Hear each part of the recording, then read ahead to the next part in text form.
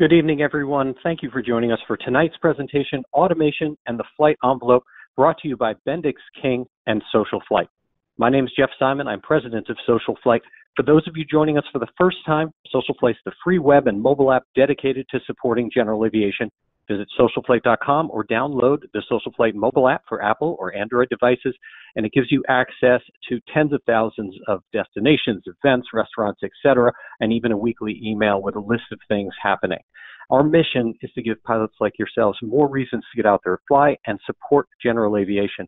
And that's even true during these challenging times when uh, a lot of people obviously cannot get together for in-person events. And so, in addition to those types of events, we have online events such as tonight's presentation. Bendix King is one of the most iconic names in general aviation with a history that goes back to the beginning of modern avionics. As part of Honeywell, they produce avionics for nearly every segment of aviation, including transponders and ADS-B products, and they've also been a thought leader in our community. And that's why we're here tonight. As a SocialFlight partner, Bendix King wanted to help us provide awareness and education about how autopilots and the technology in our cockpits affect our performance and safety as pilots. And I think that's incredibly important. Even at times like this, we have to, as a population of general aviation pilots, maintain our proficiency, maintain our ability to fly, and be there to serve our communities uh, through general aviation. And so I just like to thank them in advance for their support and making tonight's presentation possible. Now, before we get started, here's just a few tips. First of all, a recording of tonight's presentation will be available on socialflight.com within 24 hours, and we'll send you a link after the presentation that will help you do that. The uh, webinar can be found uh, the next day on our YouTube channel. So just search for SocialFlight, one word, on YouTube if you'd like to catch up on some of these details or see something if uh, uh you're having any uh, issues with connecting. So also, feel free to post questions during the presentation, and we'll do our best to address those questions uh, uh, by integrating them into the presentation, and uh, if uh, there's time and if appropriate, at the end addressing some of them as well. There is a Q&A feature directly in the, uh, the webinar software. So post something there, and then that will uh, make it easy for us to do that. So with that, I would like to just get started. Um, quick little overview. We have a really, really uh, wonderful uh, kind of trifecta of, of, people coming from different backgrounds for tonight's presentation. Uh, I come from the maintenance avionics, avionics industry side, pilot and aircraft owner, and I'm also the maintenance columnist for AOPA Online. My uh, life has been dedicated to promoting owner-assisted aircraft maintenance and helping people uh, discover that they can own aircraft and how to do that as efficiently as possible. I've experienced working with the FAA with STCs and PMAs for many products, including uh, the FlexAlert multifunction annunciator and Beechcraft modifications. And of course, we're here because of social flight. And if I were to turn around behind me right now, I would uh, be looking at a T51D Mustang project that is being built right here in our living room. So I love all things aviation, and, and I'm thrilled to be here tonight and do what I can to contribute. And what's really exciting is I'm joined by these two incredibly experienced and wonderful individuals.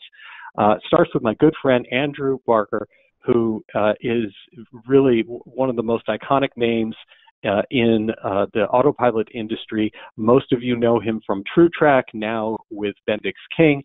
And uh, Andrew is someone who literally just started uh, at the at the almost like up the up on the bottom up the ranks as an engineer coming into the true track moving through the ranks and eventually then owning the business. And uh, uh, for any of you who have met Andrew at shows or otherwise, you certainly understand why there is a, uh, a hat and boots uh, representing uh, who he is uh, there. And, and I would encourage any of you who have a chance to spend any time with Andrew to please do so and, and bring your questions and soak up as much of the expertise as you can. Um, I, I am really fortunate to consider him a, a friend and someone that I've learned a, an immense amount from over the years. So, welcome, Andrew. Are you on the line? Yes, I'm here. Thank you so much sir, for uh, all the kind lies. well, and and they're they're not li- not lies at all. And so coming from, we've got let's see, we we we've got the maintenance aspect that I'm bringing. We've got how you actually uh, create autopilots and certify them and go through this from that perspective. And we're also fortunate to have Mariellen Couppee with us.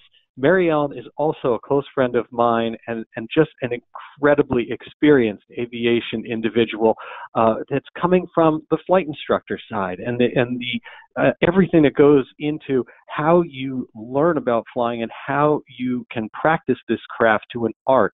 Mariellen holds a commercial multi-engine instrument flight instructor rating, which is a mouthful to say. She's a seaplane instructor. She's a tail dragger work. I mean, it, it just you I'll tell you, you can spend hours if you're able to uh, track her down at a show or otherwise learning about all the facets of aviation uh, that she brings to the table. And again, from how you operate these avionics safely and what it means to the flight envelope of the aircraft. Uh, this is really the person, and I'm thrilled to have uh, this group here talking to you uh, tonight. So, uh, Mariellen, welcome as well. Thank you so much. It was wonderful. I get a hat though, like Andrew. no, I like having the picture of you there. So let's let's jump right into it. And um, you know, tonight's presentation about automation and the operational envelope of the aircraft. What we're talking about here is the entire concept of how we fly an aircraft within its limitations versus how the autopilot flies the aircraft, and then how we integrate the feedback and the guidance that we get from the avionics. Because I think this is an incredibly important distinction of understanding the equipment that's involved and, and, and knowing that, monitoring properly, and understanding the limits and automation. And so, Mariellen, if you could speak to some of the details here of what matters, uh, I think we can have a good conversation about that. Absolutely. Thank you, Jeff. You know, on uh, know thy equipment, on all these wonderful pieces of equipment that help us with our workload gets added into our panels and into our everyday life. It can be, uh, it can be very confusing with the different visual cues, audio cues, at OEMs, the subtle changes and differences. So it's really important for you, especially as you add equipment to your aircraft, you really understand what the what the equipment is saying to you, and when you get input, what you expect the response is, and is it giving the the exact response that you want? And if you lack understanding of the equipment, you're not going to trust the equipment either. So of course, the air is a great place to practice, but on the ground is the best place to read about these and to sit in your airplane and listen to the little sounds and we'll talk we'll talk about right. that and, a and little bit more. And let me chime in for just a second. When we talk about the equipment here that feeds into it, I think it's important to kind of review what that really means. And so we talked about the autopilot is the uh, is the one instrument that is directly controlling the aircraft itself. The other uh, things that go in there feed into that. We talk about flight directors, which guide the pilot. We talk about Aeroflight, the, the navigate, universal navigation com system that provides the information that can guide the autopilot on courses and on approaches. We have angle of attack indicators that give us feedback about, uh, you know, what as what the wing is actually experiencing in terms of its lift reserve. And when we talk about autopilots, we have other parts of it like CWS, which stands for control wheel steering and trim, a yaw dampener, which is often part of that, and then the other feedback that we actually get uh, to our uh, as as pilots. And so, understanding all of uh, that equipment and how it's actually controlling the autopilot, I think, is a key starting point there. That then leads into the things that uh, you were talking about, which I'd love to learn more about with active monitoring and what the limits in automation are. Thank you. Yes, absolutely. So when we hand fly aircraft, of course, we're flying and monitoring at the same time workload, it seems okay because we're balancing the workload. But then as tasks get a little bit more saturated, that's where the automation can come in to help us. But when we start adding in the automation on there, we are only letting go of pilot flying. We're always monitoring the situation. We're always monitoring the equipment. I seem to, uh, within the industry, kind of hand over too much to what automation is doing. And I think, Jeff, you had a wonderful example that uh, I would love for you to talk about uh, with the autopilot that kind of explains the monitoring aspect of it. Yeah, um, you know, we were talking offline earlier, and I brought up a story that uh, that was really enlightening to me. Uh, uh, SocialFlights uh, has a, a A36 uh, Bonanza that uh, that I fly with an older autopilot that's attached to it, and I've been flying IFR for for quite a while. Um, I, I, don't fly a fair a lot of what I'd consider to be really hard IFR down to down to minimums um, but but certainly have become comfortable. And at the same time, it's amazing what can become a, a wake up call in what your role is as a pilot flying these systems. And so I was taking a, a trip with my family on board, and so obviously the stakes get uh, uh you know we think of the stakes as being pretty high at that point. And uh, we were climbing out in the Boston area uh, uh in IMC conditions and getting a, a, a, fair amount of redirection, you know, new altitudes, new headings, uh, new clearances, a lot going on. And I had the autopilot uh, flying the aircraft at the at the time, giving it guidance uh, because of all the changes in headings, with a heading bug uh, changes, and with the trim wheel of uh, sending it to uh, telling it essentially how to keep getting the climb that uh, that I needed as as we keep trying to go to higher and higher altitudes that we were being issued. Now, what was uh, uh, while all this was going on, all of a sudden I started hearing a chirp, uh, and when I looked over, I saw that my airspeed had dramatically declined, and that chirp was the beginning stages of the stall warning going off. And so this is something I have never experienced before in uh, IMC conditions, flying with my autopilot, etc. The aircraft's got 300 horsepower on board, and being able uh, to to climb out and always be able to get uh, 500 to 1,000 feet per minute or something, you know, really good climb rates, I just got comfortable with. What I hadn't realized that had occurred during this time is that even though uh, uh, it was uh, I wasn't getting knocked around, I was in the middle of a stable, smooth downdraft that was happening in these IMC conditions.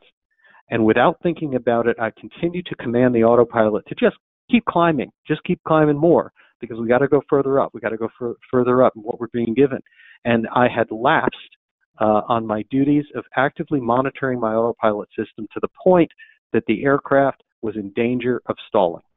And uh, that's, I think, a really, really important thing. We'll talk later in this presentation about, uh, with, uh, especially with Andrew's input about what the autopilots are designed to do, and and what level of safety is is built in, especially with the older autopilots like the ones that that I had. And uh, it was a wake up call. It really was about the difference between uh, doing things the way you you're used to and expecting those results, which we've all read you know horrible stories about uh, uh, having to do with people making that mistake. Um, I did not suffer the consequences, but I learned a valuable lesson. Yeah, thank you. So which leads me to limitations in automation. Like we're all taught, we learn to fly the PAVE and a lot of other acronyms in there as well. But our, the I'm going to present PAVE in a different way that also shows the relativity of automation in the PAVE environment so that you can kind of get a better idea or a different outlook of how automation can help you or when to use the appropriate levels uh, of automation within your flight. And of course, the aircraft include all the automation within there. The environment is completely fluidic, it's always changing around you. External pressures, those stay the same, especially now. We have a lot of them now so we're going to kind of do a, a bit of a segue to talk about pre-flighting all that equipment first and then get into that model. So this is uh, Andrew and Jeff. I believe this is uh, this is you. So yeah, and thanks, Mariellen. Sorry if I switched a little early there. The no, that's right. Well, you know, the first step in in having command of your aircraft and your systems, as opposed to them commanding you, uh, is with testing them and testing them on the ground. And so this is something that I am really, it's required. uh, by the way, in terms of uh, the way the checklists are done and what you're supposed to do in pre-flight before you take off, especially with autopilot checkouts. And yet, uh, it's really not something that's all that commonly practiced in the field. And so I would really encourage people to do this on the ground. Autopilots are designed to be tested on the ground. The same way that we look and see about like uh, is uh, has the the attitude indicator properly erected in front of us? Is our vacuum pump uh, working properly? When we turn, is the the ball free to go back and forth? Uh, uh, for for coordinating our turns. We we do these things uh, in in normal pre-flight, but a lot of people do not test their autopilot, and so this is something that again I've experienced where I've been on the ground, done a test before flying, and engaged it, turned it, and found one of the servos didn't engage.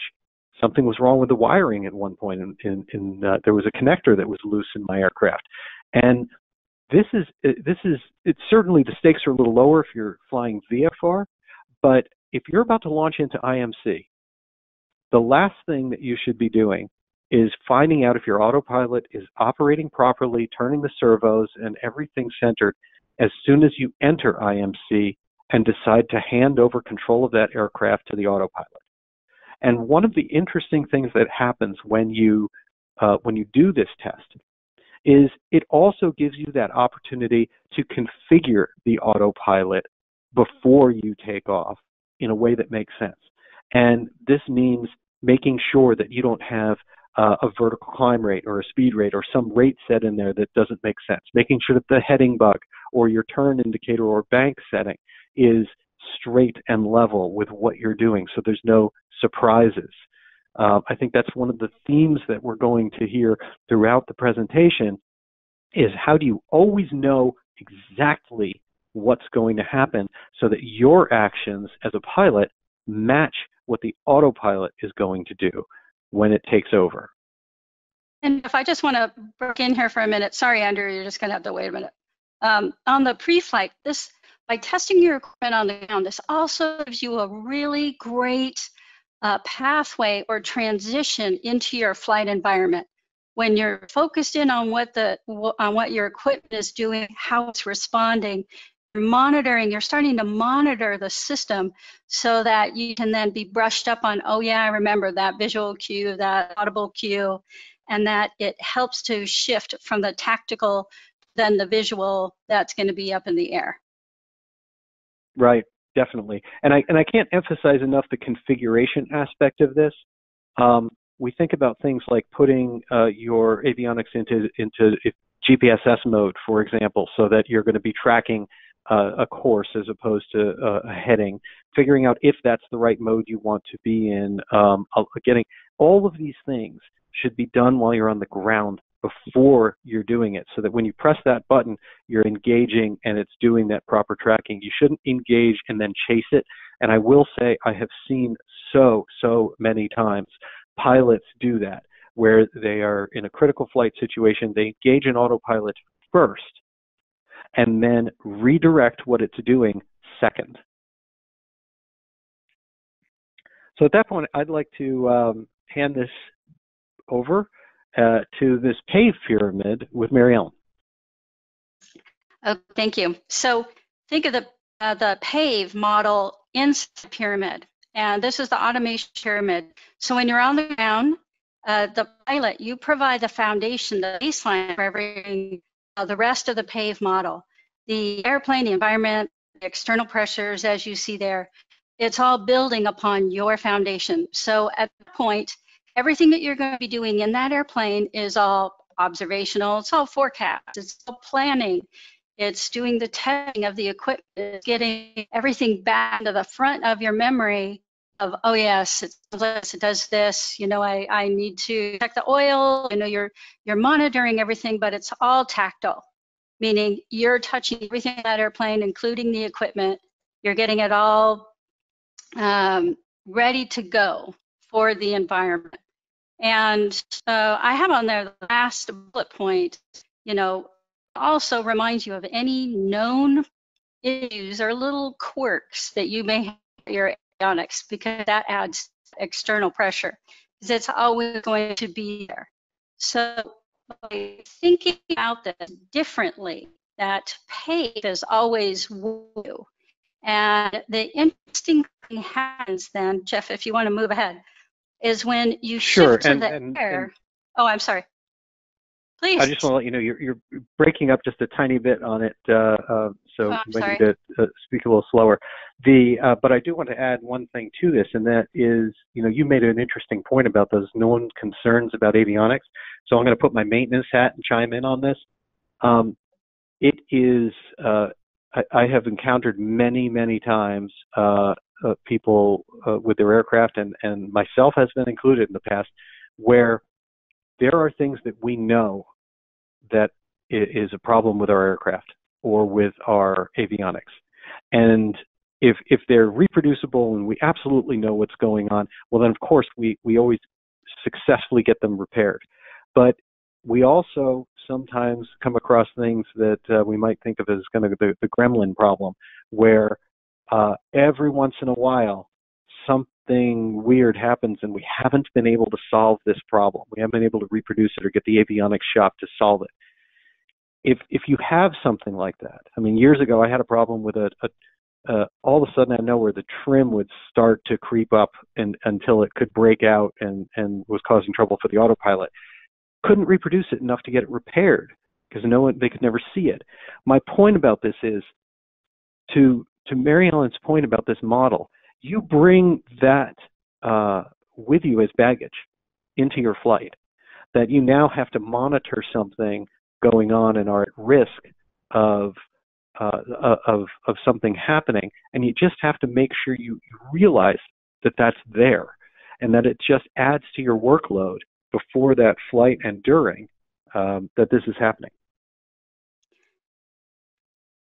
Then with that, um, takeoff, hand flying. So you're using you as the technology, the flying and the monitoring. And so as you get further away from the ground, then you start adding in levels of automation that are appropriate to where you are within that flight regime.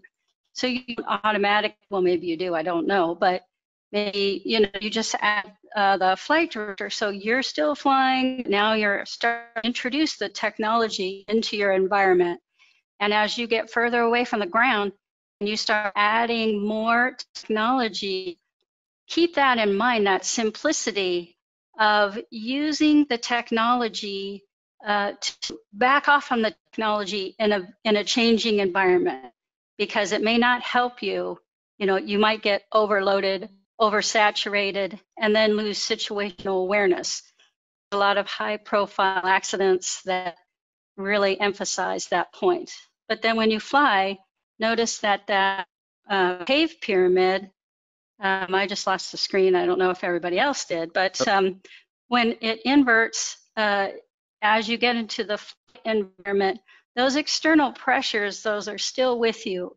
And that creates delicate excuse me, pivot point that now the pilot becomes the person balancing everything in the air. So if you shift one way or the other, you're just trying to keep everything in balance. The automation, then you notice that it's below pilot. That automation will help, uh, provides the bridge between a pilot and the environment because the environment is always changing. Now you're really into the reality the winds are different than you forecast. There may be turbulence. There are storms, you know, depending on where you fly, popping up or embedded all around you.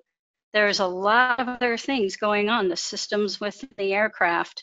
So using that automation to help keep a buffer between you and the changing environment and you as the pilot monitoring, you're always monitoring your environment, but also you're monitoring the automation. You're not letting go you just hand over the physical touching of a yoke or a stick uh, so that it can help you monitor the aircraft.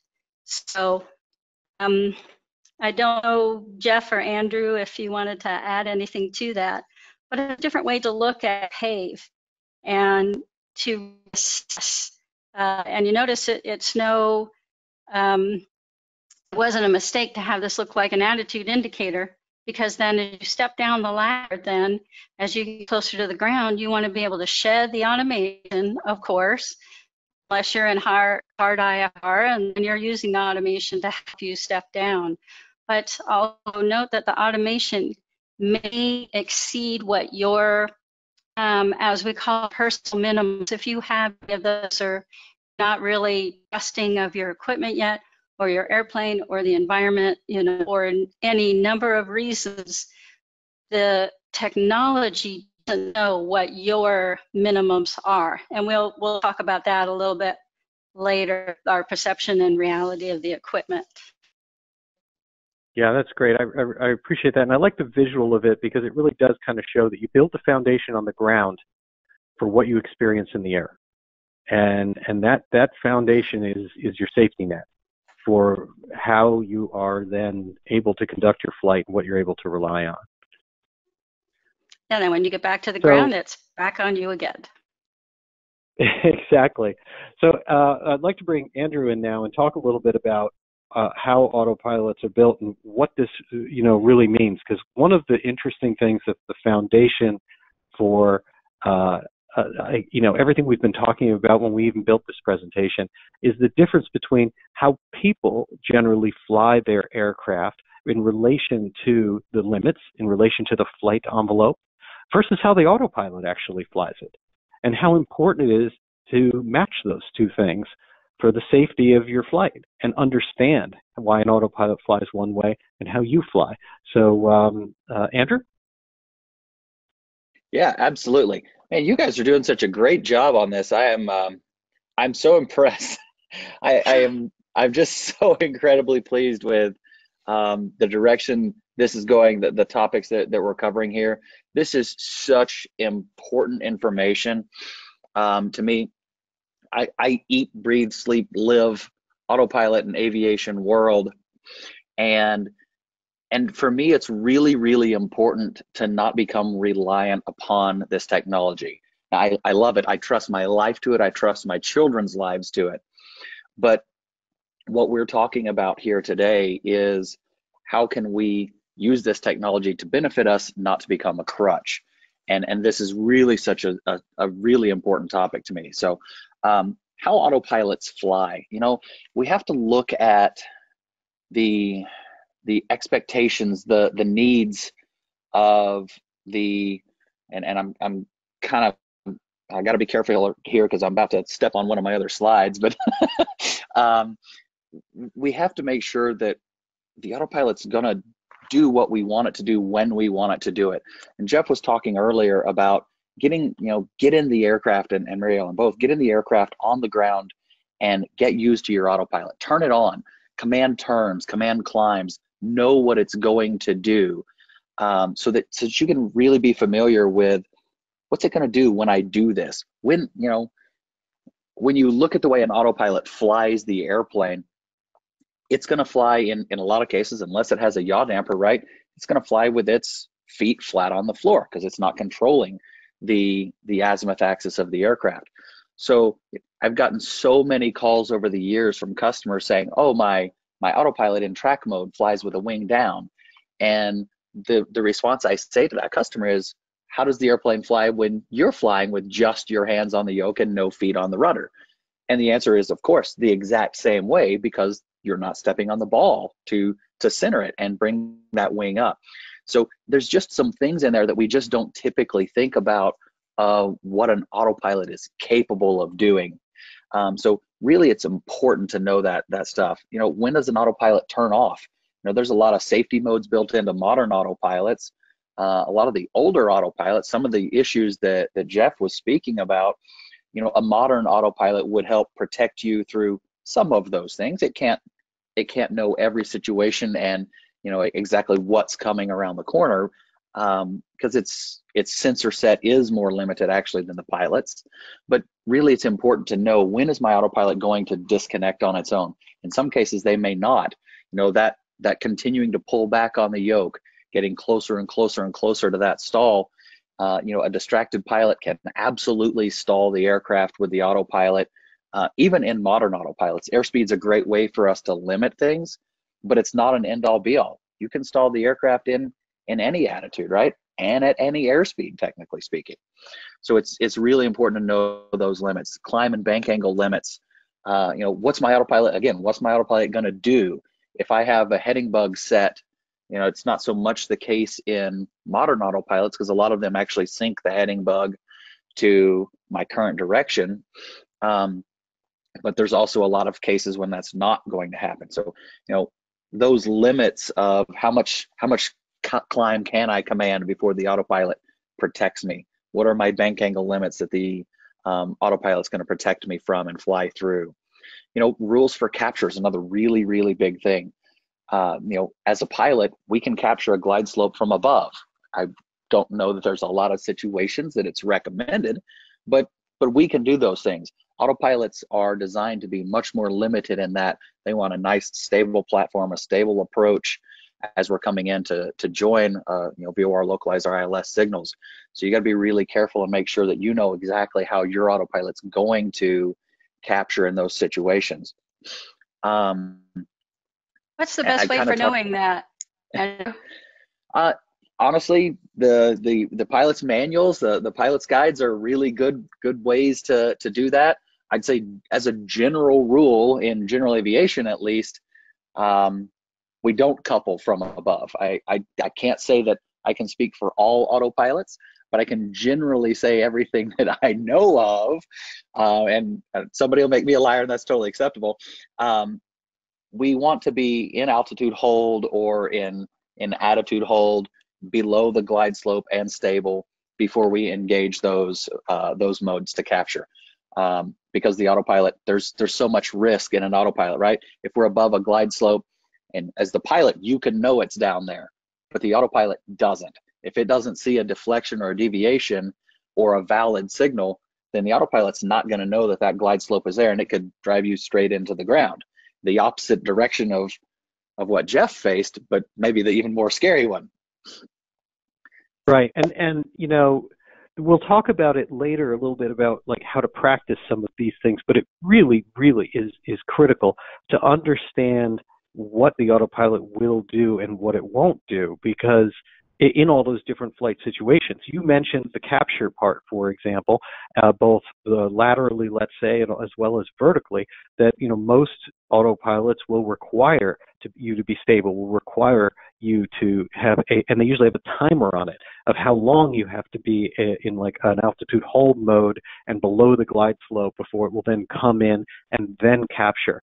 And that it, if you don't know what those limits are, then you're almost waiting for a surprise at the end to see is it going to do it or am I about to do it? Uh, and you'd never do that with another with a co-pilot. Never wait till the last second and say, "Hey, let's wait and see when this needle gets to center. Um, I'll let you know if I'm going to be the one to go down the glide slope or you are." And, Absolutely. Uh, and that's exactly how a lot of them how a lot of them actually actually fly. And the same is true. I've been I was taking a um, I was flying an approach uh, uh, IFR into Oshkosh at AirVenture one year, and everyone's getting vectored all over the place. And it, what ended up happening is we were actually being brought in at an angle that was beyond what the autopilot was able to do. And it same thing. I got surprised by the fact the autopilot, when I thought it was about to join the course and they, and and start the final approach, actually said, um, "No, you know what? You take this one." exactly another great case of let's practice beyond our normal comfort zone but let's do it in vmc let's say all right you know what? Let's let's simulate an approach where i'm going to get a a vector to couple that's beyond 30 or 45 degrees which is kind of the standard for an autopilot. You know as as a pilot a 60 degree couple uh, it's not ideal but it's it's something you could do quite comfortably but the autopilot's just not designed to couple in those situations. At least, again, I will I will say blanket approach here. Most autopilots are not. Some some may, but in in general aviation, it, it's it's really important to know what your system is capable of. And and again, a lot of that is is in it should be in the POH, um, but some of those things may not be well documented in in POHs in POHs, especially for some of the older um, older systems that are out there. So the, the best advice that, that I have when you're to find out what your autopilot's going to do, A, fly it on the ground, right? Those, those are really cheap flight hours. um, but also get up in VMC and practice your your coupled approaches and not just the normal, easy, straightforward ones. Let's throw some complex stuff at the system while you're a, a system monitor when things aren't happening that are going to overwhelm you near as much. And I'd like to add one other last thing, and that is I think one of the most important uh, things to check has to do with what Andrew mentioned earlier, which is when is your autopilot going to break off? And that can happen for a number of reasons. It can happen, uh, for example, if you have an autopilot where you also have uh, uh, uh either an auto trim uh, built into it or even with manual trim, where the trim gets out of sync to, with the autopilot to the point that the autopilot breaks off what it's doing. And when that, I can tell you, when that happens, because I've experienced it, it is a, a very dramatic and can be a very scary situation. Because not only is your autopilot kicking off, but it's kicking off in a in a radically over uh, compensated position, well, uh, that you're not coordinated, where all of a sudden what you thought was happening with the plane is that the autopilot was keeping you straight and level and everything was fine. And what it was actually doing was fighting like hell against the trim pressures to hold your plane level. And when it gives up, all of a sudden the yoke goes straight back to you or straight forward and you go into a, a pretty radical move uh, in a in a very dangerous situation. And that's exactly the type of things we talk about with VFR pilots all the time. Of don't make a you know tight turns, radical moves. They that's what introduces danger. And when your autopilot will kick off, whether that is based on a command that you're giving it, whether it's based on not being uh, in sync uh, with your trim, or, so, or, or just not being able to to finish an approach or guidance, or having discontinuity in your nav system. There's so many ways it can happen that you really need to understand them and understand what would cause that to happen and what how the airplane is going to get configured when the autopilot hands it back to you, uh, perhaps without you knowing it was coming. Yeah, and be Absolutely. hang on to that yoke and make sure that you, you come back to that lower automation state where you're flying and monitoring and then build it back up again. Now, Mariellen, what do you, you recommend? Uh, you know, I've always had the habit personally of uh, never being comfortable flying the aircraft uh, on autopilot without my hand touching the yoke in some way. What's your, uh, what do you teach your students? Anything having to do with that? Um, no, it really depends. It depends on the person and their response time and what they're comfortable with. I mean, it's, the autopilot is also going to be fighting against the weight. If I tend to have a heavy hand, you know, just left hand, if it's yoke, you know, and, and sinking uh, left hand down, then it's just the, you know, I may disengage it or th there could be a number of things. So I try to be as close to the controls as possible, but I'm not going to be like in a, you know, ready to hit position like in skiing or something like that. It's just, you know, I think I've just... been bitten. I think I've been bitten too hard. a little tense, are you in the cockpit there, Jeff? No. Well, uh, you have a couple hard overs by your autopilot, uh, uh, and uh, you you learn to get really comfortable with your hand, your arm on the armrest, and your and your thumb just just ready for it. If you're uh, once bitten, twice shy, in my case. exactly.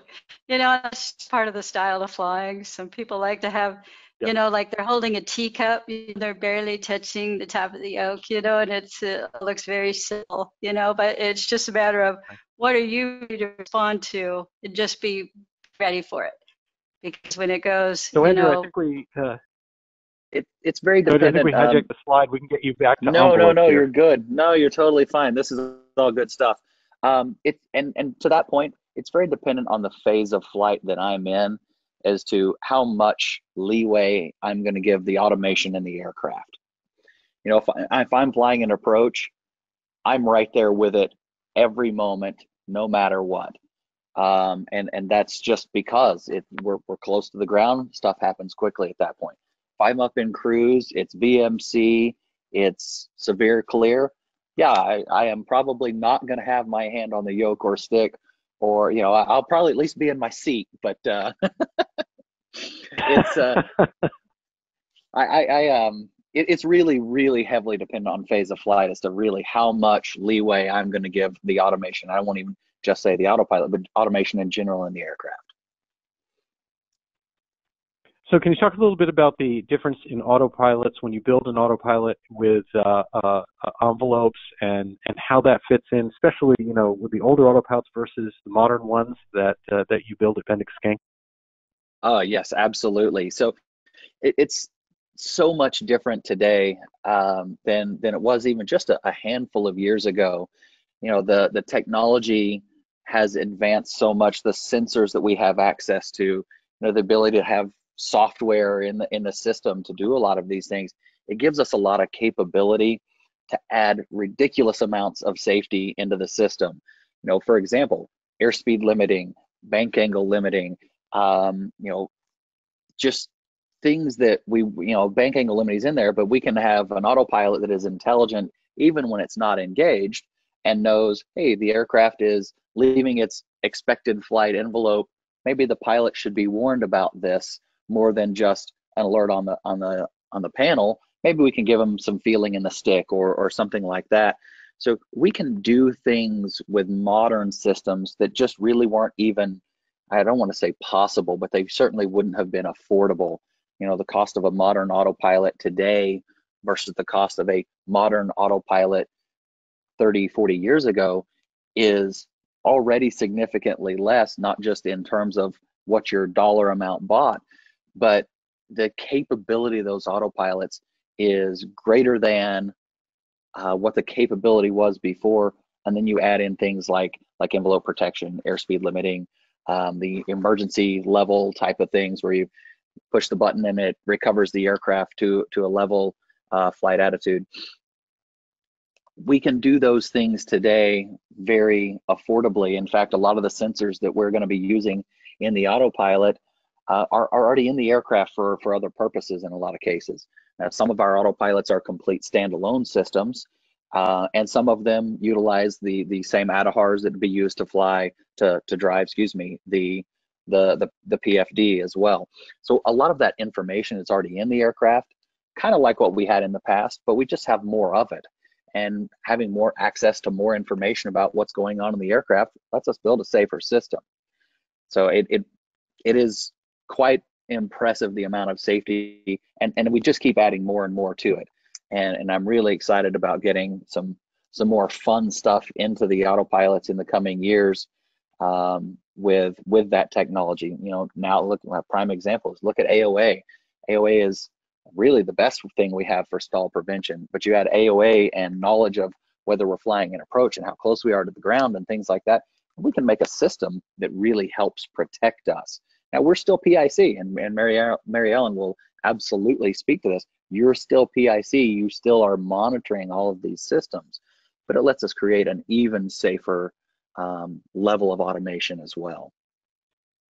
That's an interesting perspective of, of the idea of, of building AOA directly into auto, autopilot control.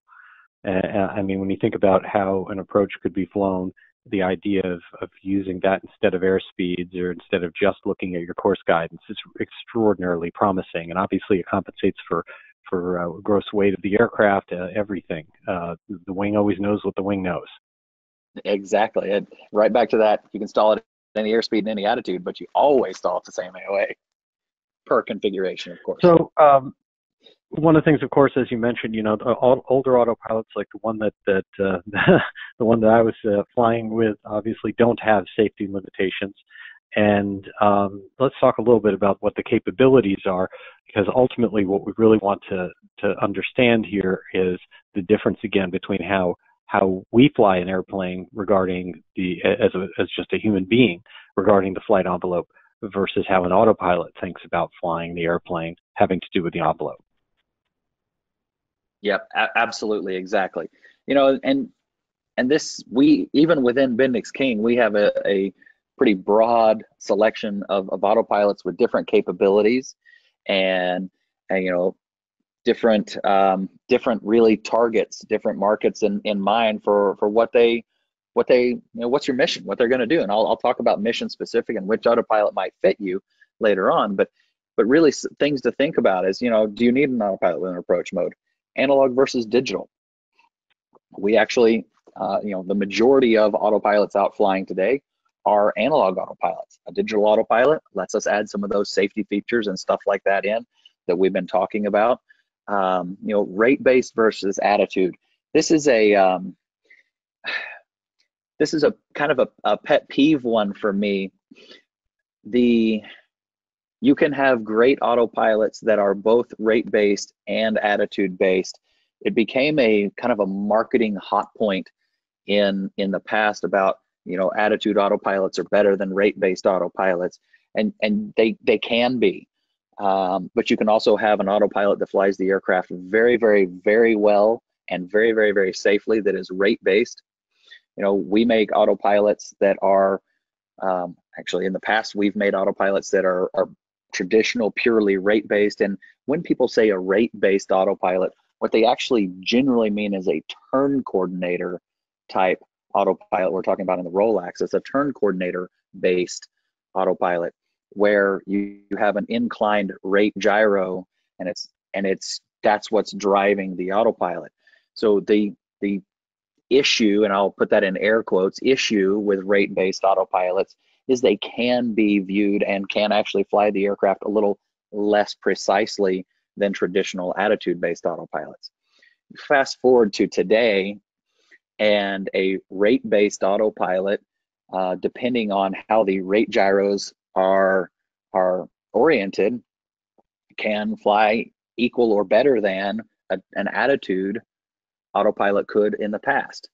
So it's it's a little bit of a misnomer. We, we really should honestly call that, and I, I probably should have changed it in this slide, but nobody would know what I was talking about. um, should be more like turn coordinator based versus orthogonal um, gyroscopic based. Um, but it that really boils down to how well is it going to fly my aircraft? And a rate-based autopilot is going to fly an aircraft very well at cruise speeds. You know, and the only issue you might get into is adverse yaw and low airspeed um, it might be a little less precise. The capability of different so autopilots. You, yep, sorry. Go ahead.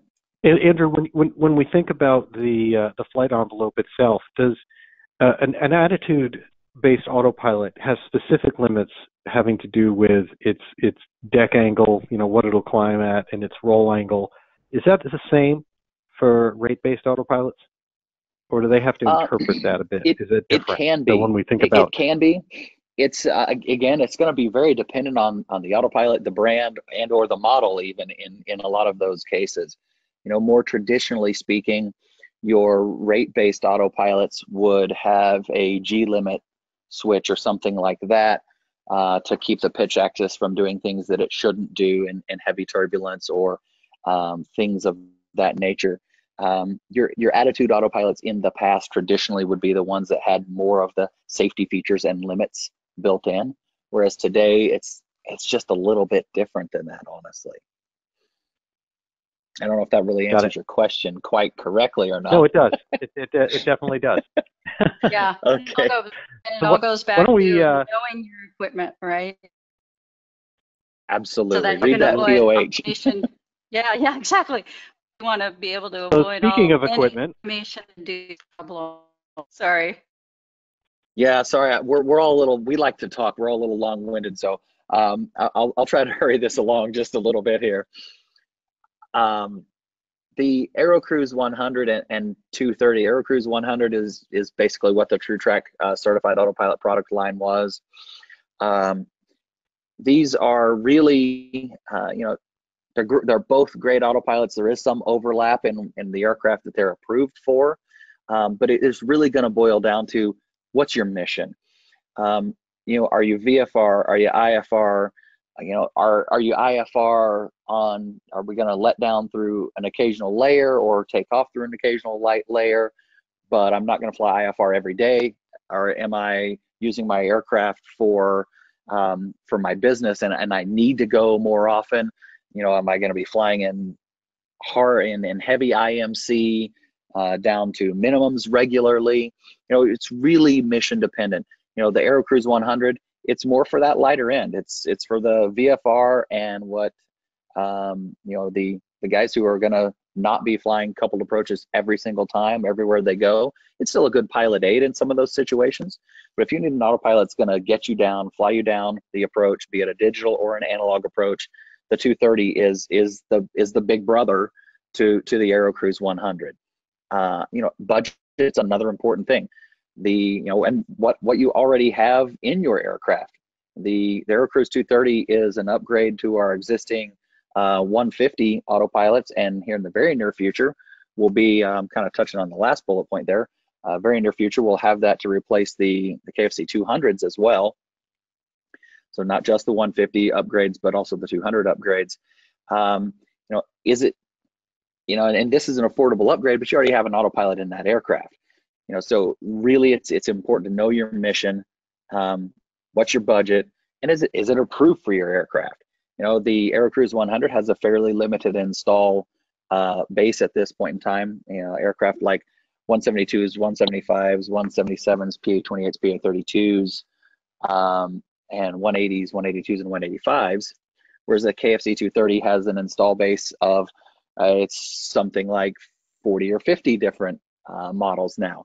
So a much more broad approval on on that system. Now we do have new airframes and, so, and uh, interfaces. Uh, yeah, go ahead, Jeff. I'm sorry.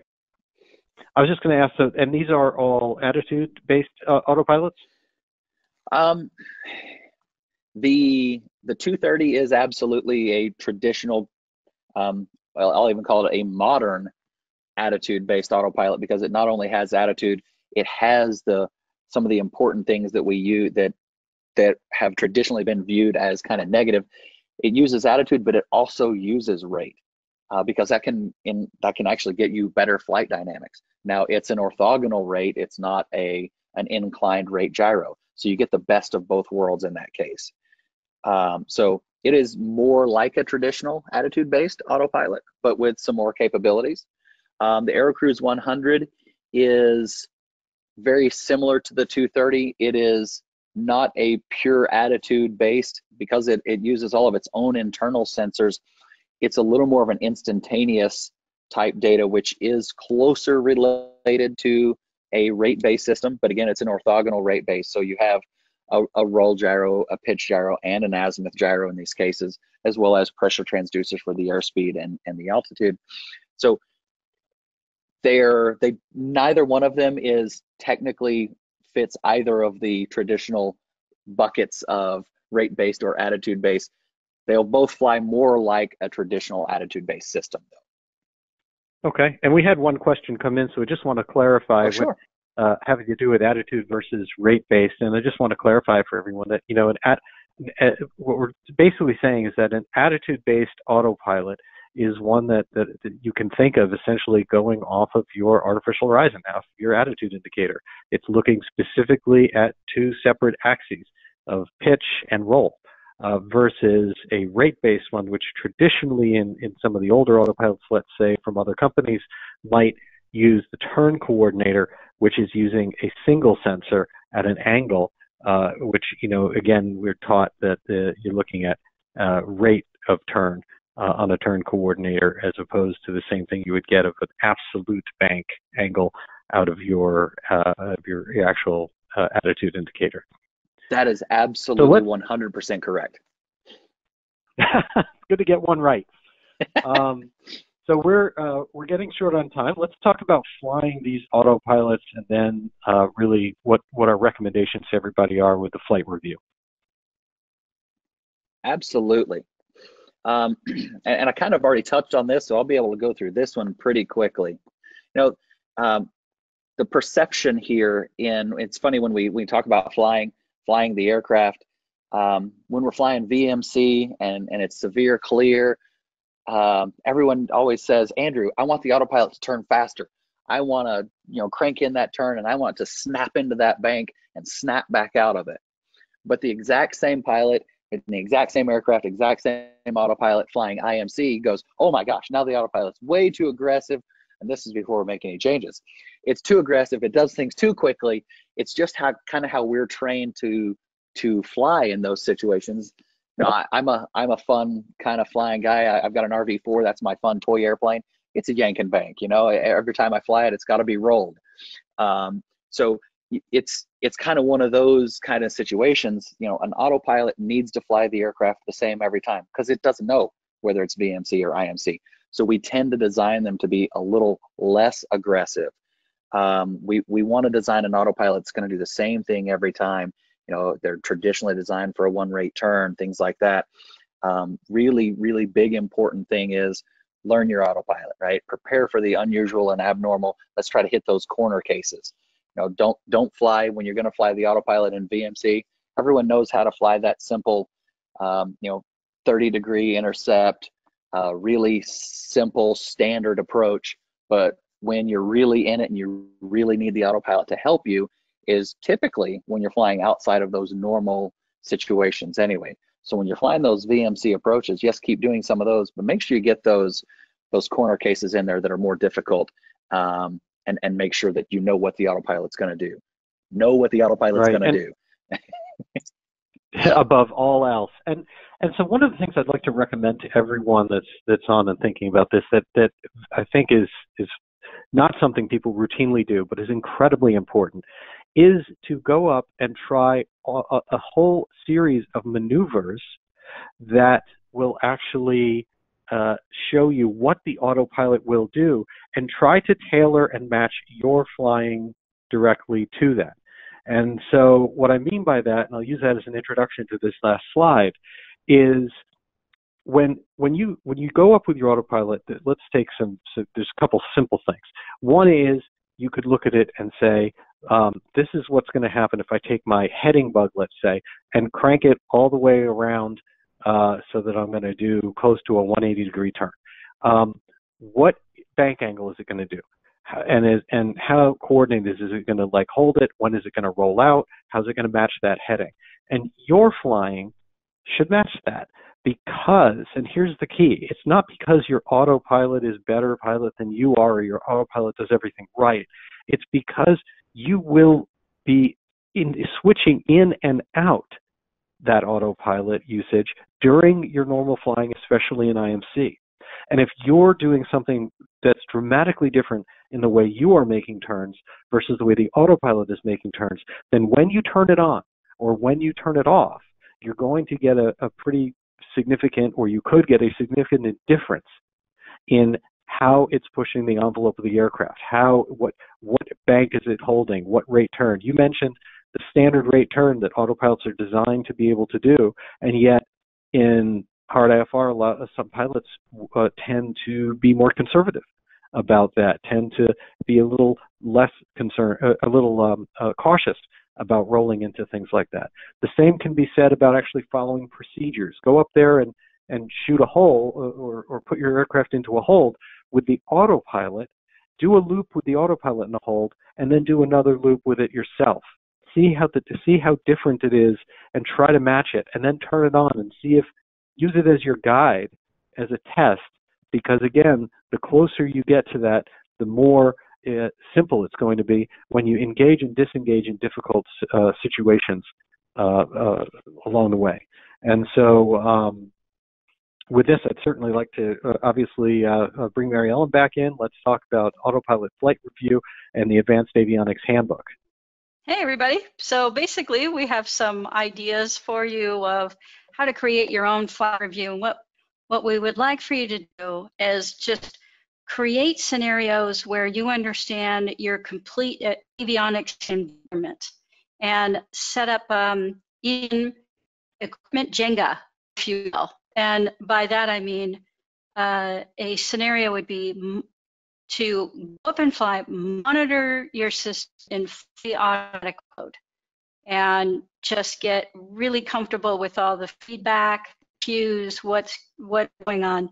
The other thing remember touch with intent. Don't just touch something and then go, oh, hmm, was that what I was supposed to do? So touch, verify that's what you needed, what you expected to do, and communicate, which is also understanding your avionics environment and how all your different pieces of equipment interact with each other and communicate with each other. The second thing to do is uh, learn to control your system in failure or manual mode, like wheel steering or um, uh, doing off-panel disengagements, uh, forcing the autopilot, you know, just coming up with all these scenarios. So I have an example, the Advanced Avionics Handbook from the FAA. You don't have to read the whole book, it's gonna get redone. I'm on an FAA um, review board, the working groups. So this is one of the things that we're gonna be looking at. But they do have this great checklist in the back, the essential skills checklist. And you can take all these and you can then put in your avionics that you have in your airplane your if you rent you know the the different equipment that you have in the different aircraft. But then we came up some uh, flights that you could do on the right or some scenarios that you can do and then work with your instructor. We love to have we love the new equipment and different airplanes and we have to do it all the time. So it's really fun to set up a flight review that would be just on automation and have a up on that. That's all i have on that Excellent. Well, thank you so much. Appreciate that. And uh, so let's uh, let's end with some good news having to do with pricing.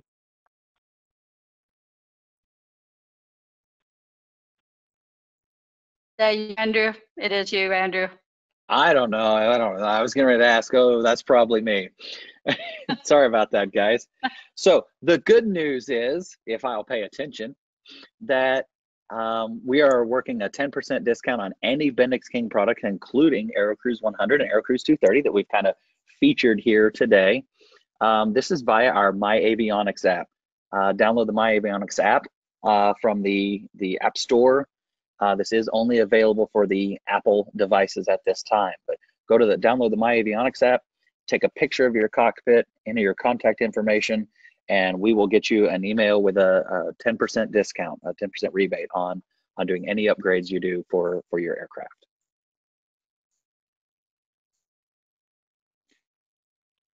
Excellent. Thank you so much. And so, um, with that, I'd like to just leave you with the contact information for both Andrew and Mariellen, and thank everyone so much for your time this evening. We really do appreciate it uh, as I've said, uh, especially during these challenging times, it's really important for us to do everything that we can to remain educated and current and and uh, do our best to learn about our aircraft. And so, um, along with um, everything that we try to do here from SocialFlight, I'd like to thank Bendix King and thank Andrew and Mariellen for their time this evening. A recording of tonight's presentation will be available on YouTube uh, uh, sometime uh, tomorrow after we're able to get it processed. And until then, thank you so much, Blue Skies.